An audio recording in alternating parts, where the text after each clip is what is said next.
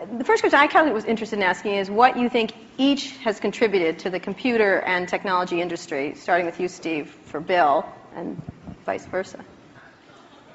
Um, well, you know, Bill built the first software company in the industry. And uh, I think he built the first software company before anybody really in our industry knew what a software company was, except for these guys. And that was huge. That was really huge. And the business model that they ended up pursuing turned out to be the one that worked really well, you know, for the industry. Mm-hmm. So I think, but the, the, the biggest thing was Bill was really focused on software before almost anybody else had a clue that, that it was really the software. That's, that's what I see. I mean, I, a lot of other things you could say, but that's the high order bit. And I think building a company is really hard.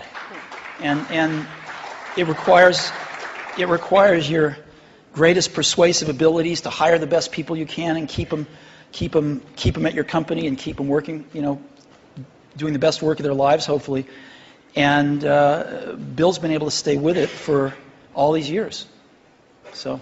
Bill, how about the contribution of Steve and Apple? Well, first I want to clarify I'm not fake Steve Jobs. Uh, you know, what, Steve's done is quite phenomenal. You know, if you look back to 1977, that Apple II computer, the idea that it would be a mass market machine, uh, you know, the bet that was made there by Apple uniquely, there were other people with products, but the idea that this could be an incredible, empowering phenomena, Apple pursued that dream. Uh, you know, then uh, one of the most fun things we did was the Macintosh, and that was so risky and people may not remember that Apple really bet the company.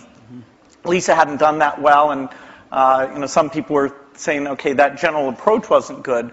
But the team that Steve built, even within the company, to pursue that, uh, even some days it felt a little ahead of its time. Uh, I don't remember that Twiggy disk drive. And, 128K. Yeah. Uh, and Ah, the Twiggy disk drive. yes. Steve gave a speech once, which is one of my favorites, where he talked about, in, in a certain sense, we build the products that we want to use ourselves. Uh, and, you know, so he's really pursued that with incredible taste and elegance that has had a, a huge impact on the industry. Uh, and his ability to always come around and figure out where that next bet should be uh, has been phenomenal. You know, Apple literally was failing when Steve went back and uh, reinfused the uh, innovation and risk taking that have uh, been phenomenal. So the industry's benefited immensely uh, from his his work. We've both been lucky to be part of it, but uh, you know, I'd say he's contributed as much as anyone. Um, we've also we've yeah, also both been incredibly lucky to have had great partners that we started the companies with, and we've attracted great people. I mean, so everything that's been done at Microsoft and at Apple has been done by just remarkable people, uh, none of which are sitting up here, you know, today. Well, not us. Well, you're sort of the not, not, not us. and you're sort of you're so you're in a way you're the stand-ins for all those all yeah, those other people. In a way, we are. Um, in a very tangible way. So Bill mentioned the Apple II in, in 1977 and 30 years ago, and there were a couple of other computers with which were uh, aimed at the idea that average people might be able to use them. And looking back on it, a really average, average person might not have been able to use them uh, by today's standards, but it certainly broadened the base of who could use computers. I actually looked at a uh, at an Apple ad from 1978. It was a print ad that shows you how ancient it was, and uh, and it said thousands of people have discovered the Apple computer. Thousands of people.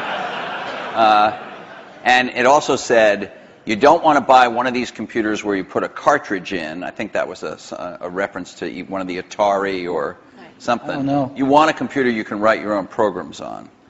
And so the world, and obviously people we had some, we do, had some very strange ads back then. We had one where it was in a kitchen, and there was a, a, a, a woman that looked like the wife, and she was typing in recipes on the computer with the husband looking on approvingly in the back. Most people, uh, I, some people here, but I don't think most people know that there was actually um, uh, some Microsoft software in that Apple II computer. Do you want to talk about what happened there, how that, how that occurred?